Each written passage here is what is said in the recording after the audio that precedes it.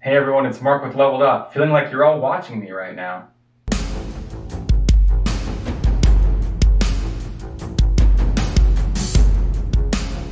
Do you ever feel like everyone is noticing every little thing about you, what you're wearing, what you're doing, how you're speaking, etc.?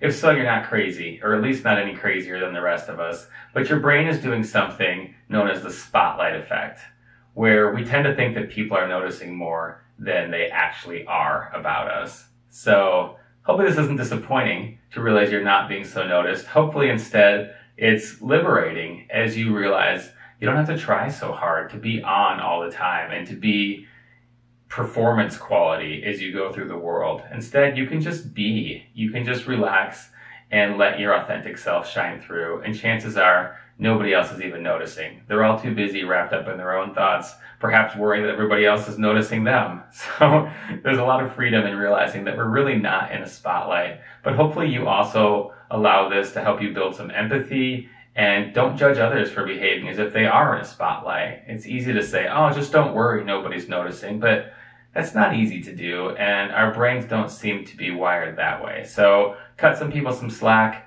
when they worry about being judged. If you can, let go of the idea that you're always being noticed and judged, and let's just see if we can all find more peace and authenticity in the moment. Hopefully you find that helpful. As always, please like, comment, and subscribe, and I'll see you back here soon. Hey everyone. Hey. hey everyone. I don't know where I was going with that. Hmm. You can get past hey.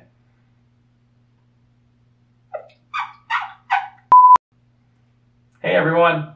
No, I can't be doing this. Look at the camera. Look at the camera. Hey. Hey everyone. Mark with Leveled Up, wondering why my nose itches so bad.